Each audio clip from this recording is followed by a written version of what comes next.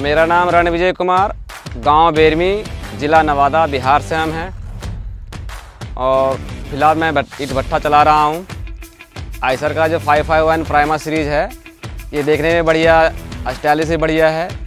Powerful engine भी है, ताकत खींचने का भी बढ़िया है। लेकिन बातों से मालूम पड़ रहा है कि गाड़ी बढ़िया है ये, लुक भी बढ़िया है। सबसे पहले तो ये गाड़ी का लुक बहुत जानदार है, तकनीक बढ़िया है। मैं जब ट्रैक्टर लेने गया था तो हमारा five five one world model ही पहले बुक था। लेकिन मैं जब शोरूम में जब गया तो हमें देख के ही लग गया कि नहीं, हमें यही गाड़ी लेना है। और आगे से पीछे से दाएँ बाएँ से कहीं जाकर देखे तो हमें लग गया कि नहीं, गाड़ी बढ़िया है ये। इसका लुक बढ़िया लगा हमें। इसका लाइट देखा तो बढ़िया है और आगे लुक दे रहा है अच्छा से।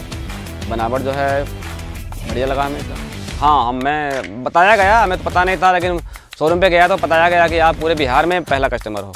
गाड़ी हमें अभी तक अच्छा लग रहा है, चल भी बढ़िया लग रहा है, चल रहा है बढ़िया। और आगे हमें भारी काम के लिए लिए हैं। और काम बढ़िया कर रहा है। गाड़ी हमारा ये कोई भी गाँव जा रहा है तो एक बार कोई भी आदमी हो, गाड़ी से संबंधित जो जानता है, वो एक बार ज़रूर देखता है कि हाँ कौन सा गाड़ी, क्या मॉडल है, कौन सा कंपनी है। ये हर गाँव की बात है जहाँ जहाँ जा रहा है स्टेयरिंग काटते काटते ये जो पीछे का जो चक्का बड़ा वाला है, वो ट्रॉली में आ जाता है। पर इसमें नहीं आ पाता है। इसमें तुरंत एकदम घुमाओ, एकदम तुरंत कट जाता है ये।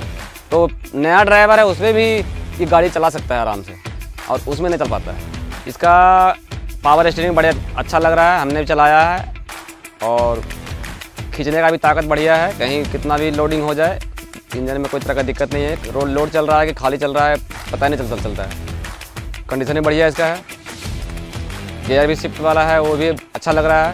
पहले हमारे पास ये गाड़ी नहीं था, खेत जुताई में भी बढ़िया चल रहा है ये। किसान के लिए भी हमने खेती खेती में काम किया दो महीना पहले। तो उसमें भी बढ़िया लगा हमें, हम भी चला के देखे। खेती करने, धान लगाने के लिए हमने जो पानी में जो चलाया इसको तो उसमें और गाड़ी से हमें अच्छा लगा ये। एक तो इस गाड़ी का है कि जो पीछे गाड़ी था, थोड़ा बहुत ज़्यादा लोडिंग है, रास्ता थोड़ा सा प्लेन चल रहा है, ऊपर चढ़ना हो तो आप पीछे जो गाड़ी था, उसका इंजन उठता था।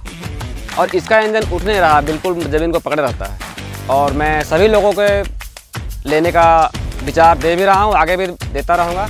धन्यवाद। आयशर प्राइमर जी थ्री जज्बा नया, जीत नई।